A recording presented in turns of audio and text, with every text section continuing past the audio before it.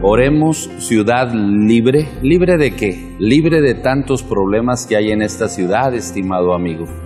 La invitación que te estamos haciendo es para que unidos, como una sociedad necesitada, busquemos precisamente la presencia y el señorío del Señor Jesucristo, para que en esta ciudad empiece a haber una armonía de amor, de paz, de seguridad Tú sabes que necesitamos libertad sobre lo que son las drogas, sobre lo que son prácticamente todo tipo de maldad como pecado, como la tranza de la cultura de nuestro México.